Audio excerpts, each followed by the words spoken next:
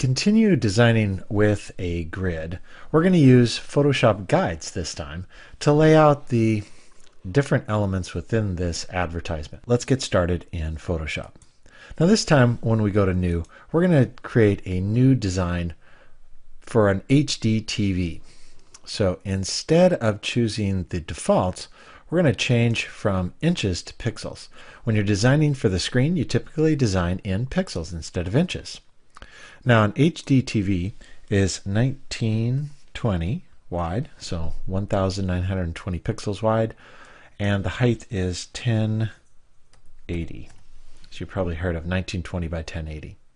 Now typically we design a different resolution for a screen. So let's change that to 72.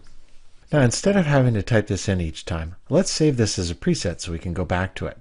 So if you hit save as preset, we can give it a name. So I'm going to call this HD TV and go ahead and hit OK.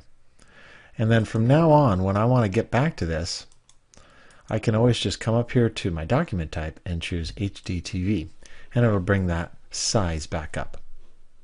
Okay, instead of using the grid that's on there, I'm going to use some guides. So I'm going to start by hitting Control apostrophe. That'll get rid of my grid. And I'm going to hit Control 0 so that it automatically zooms to fit the window. All right, I want to have a all right, I want to have a margin around the outside, and then I want to have several columns in here. To create your own guides, you can click and drag from a ruler out. And you can see this blue line is a guide. Try moving it around. So when you put your cursor over the top of it, you'll get this double-headed arrow, and that allows you to move the guide. You can do that from the top ruler or the bottom ruler. So create a couple of those. Move them around. Now that you've got some practice with these guides, let's hide them. So if we go to View, we can clear these guides. Let me show you another way to create a guide. Oftentimes you want to create a guide at a specific distance. I'm going to change my rulers from inches to pixels because I'm designing in pixels now. And let's go up to view again and new guide. And you can type in a specific distance. So let's say I want to have a 10 pixel margin. Um, how about a 20 pixel margin? I'm going to hold 20 and then px for pixels and hit OK. You can see it made a vertical guide here at 20 pixels in. If I wanted to put another one out here on the far right at 20 pixels in, I'd have to do a little math. Now that my design is 1920, so that next guide would be at 1900. So let's go up to View and New. I'm going to type in 1900 this time. Hit OK, and you can see I've got a guide at 20 pixels in from the right side edge. So you can see it's, it's pretty quick and easy to either drag your guides on there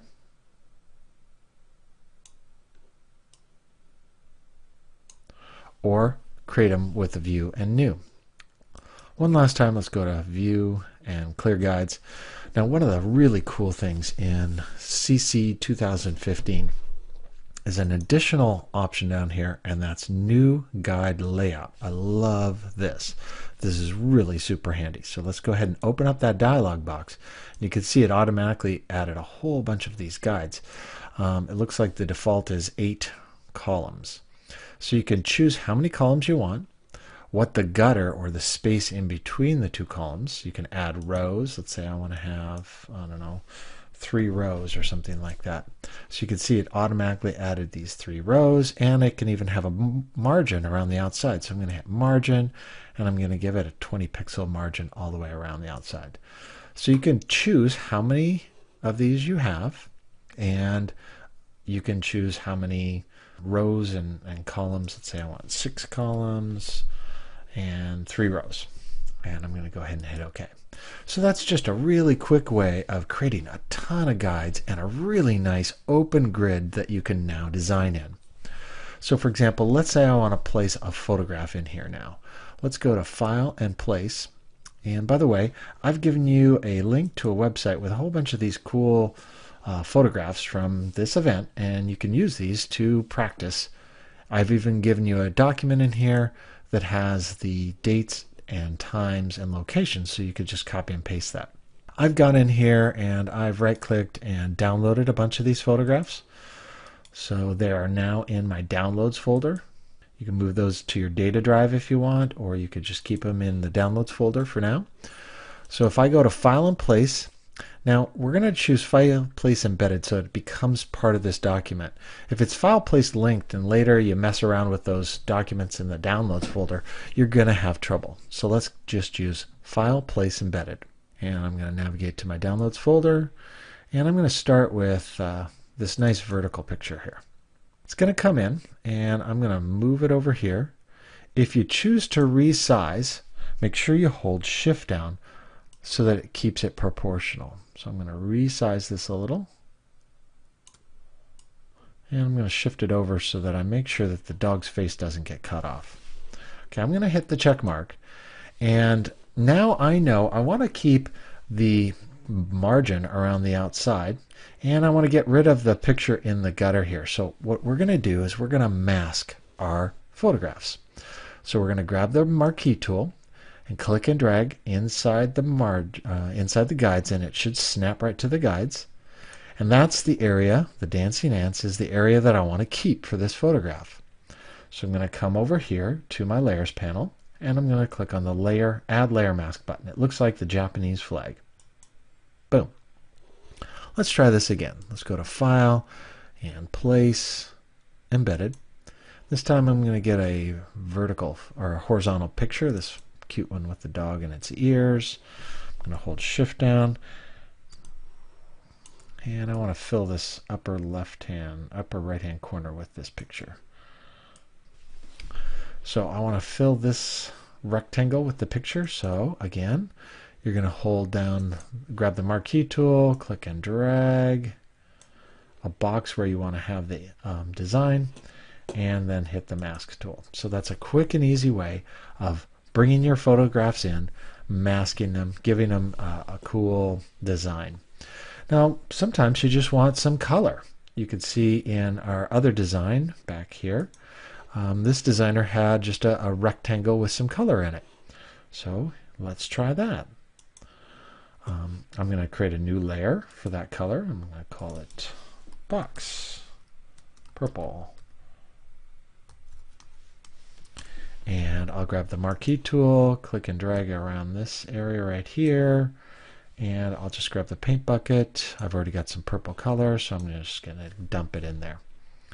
So you can see it's really easy to design with a grid using these guides. So again, let's try it again. Let's just practice. We're going File, Place, this one. Resize it, holding Shift down. This one I want to just do these two boxes down here. So I'll grab my marquee tool, click and drag, hit the mask tool.